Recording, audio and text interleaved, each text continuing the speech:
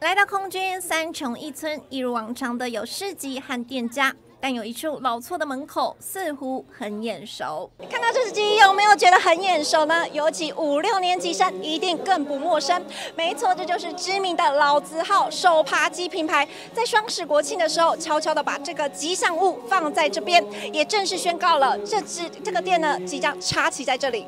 巨大醒目的吉祥物一现身，立刻吸引众人目光。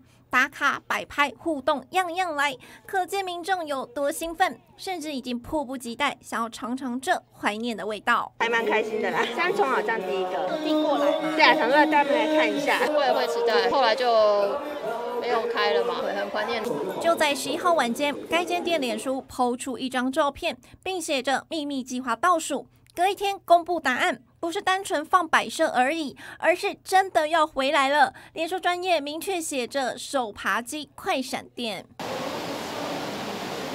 走进来是温馨的日式风格，咦，有走错吗？没有啦，原来他们即将和烧烤店业者一起合作，在同一个空间一同营业。民众来到这里，选择更加多元。这品牌在一九八四年创立，但受到新冠疫情影响，最后一间直营店二零二一年宣布暂停营业，转为全力发展食品代工。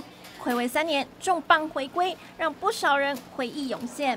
有吃啊，因为小时候六年级末段班的，小时候有吃过啊，后来好像。就慢慢的剩很少了，好像只剩一两家这样子。小时候吃它的时候就蛮好吃，因为手扒鸡那时候那个手戴那个套子啊加。爸爸买回来的时候，这样吃起来其实是蛮好吃的。再重新这样出来，这样我们觉得是蛮怀念的味道，也希望小孩子可以感受到我们小孩子的时候的快乐。而同样准备插旗在台北的，还有从高雄诞生的知名饮料品牌，主打日系和风茶，目前主要在中南部开店，但也宣布要在台北市开店了，让饮料控都超兴奋。